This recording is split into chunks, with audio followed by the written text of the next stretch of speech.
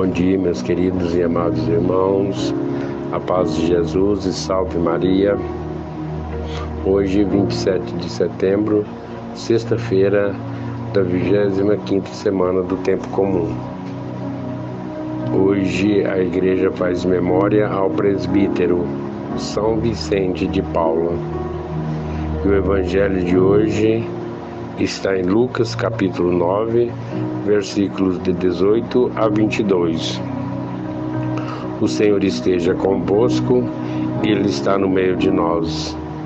Proclamação do Evangelho de Jesus Cristo segundo Lucas. Glória a vós, Senhor. Aconteceu que Jesus estava rezando num lugar retirado e os discípulos estavam com ele. Então Jesus perguntou-lhes: quem diz o povo que eu sou? Eles responderam: Uns dizem que é João Batista, outros que és Elias, mas outros acham que és algum dos antigos profetas que ressuscitou. Mas Jesus perguntou: E vós? Quem dizeis que eu sou?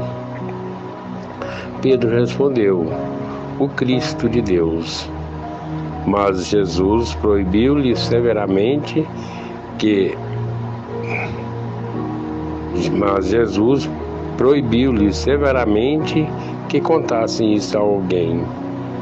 E acrescentou: O filho do homem deve sofrer muito, ser rejeitado pelos anciões, pelos sumos sacerdotes e doutores da lei. Deve ser morto e ressuscitar no terceiro dia palavra da salvação. Glória a vós, Senhor.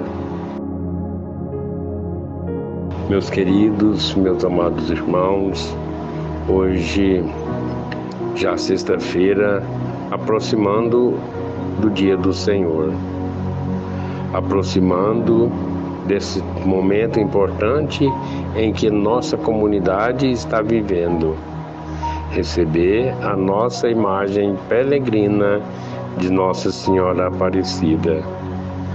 Amanhã estaremos nessa missão, acolhendo a Mãe do Salvador. Portanto, queridos e amados irmãos, que nós possamos viver essa fé e ter a certeza de que esse é um momento muito importante para a nossa comunidade. E hoje acolhendo também a palavra do Senhor em nossos corações. Jesus que nos fala, Jesus que nos orienta e nos direciona. E nesse Santo Evangelho de hoje, inicia-se com um dos hábitos mais bonitos de Jesus. E ele nos ensina também, pede que nós também façamos. Ou seja, Jesus estava rezando no lugar retirado e os discípulos estavam com ele. Prática corriqueira de Jesus: retirar-se para pela oração, retirar-se para falar com o Pai, pedir orientação na sua caminhada. E nós também, queridos e amados irmãos, devemos ter esse comportamento em nosso coração, nos retirar para falar com o Pai, agradecer muitas coisas que nós recebemos, agradecer tantas coisas maravilhosas que o Senhor coloca em nossos corações e em nossa vida.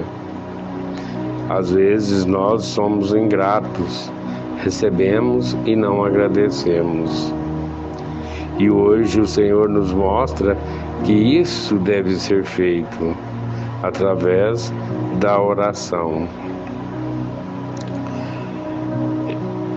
E no Evangelho também de hoje, repete a mesma pergunta que foi feita no Evangelho de ontem. Ou seja, quem é Jesus? Jesus pergunta a seus discípulos e pergunta a nós também quem é Jesus? Será que nós temos consciência de que quem é Jesus para a nossa vida? De que o quem é Jesus o que Jesus representa para o nosso, para nós no nosso dia a dia? Será que nós temos a mesma consciência de Pedro? Que estava rezando com o Senhor e fez essa bela profissão de fé.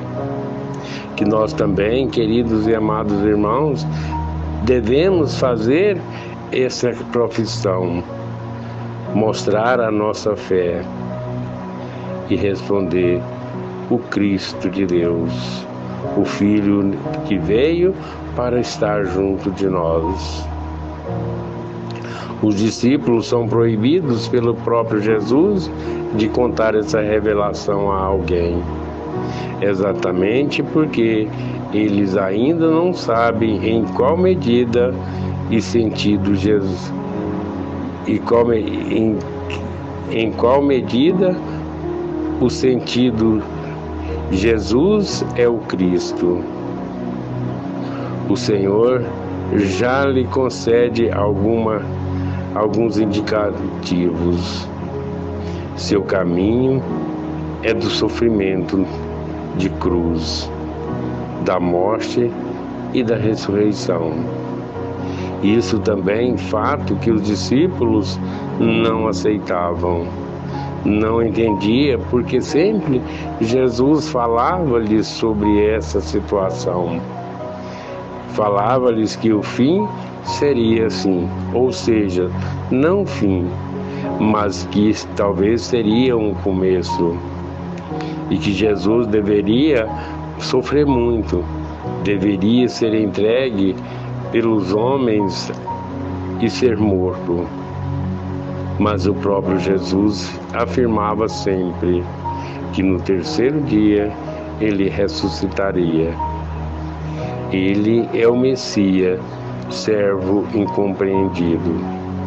Incompreendido muitas das vezes por cada um de nós. Incompreendido muitas das vezes pelas nossas limitações incompreendido muitas das vezes pela nossa ignorância. Mas que o Senhor nos dê um coração bem grande, bem acolhedor, para que possa entender o que Jesus representa para cada um de nós. Que Deus nos abençoe hoje e sempre. Louvado seja nosso Senhor Jesus Cristo, para sempre seja louvado.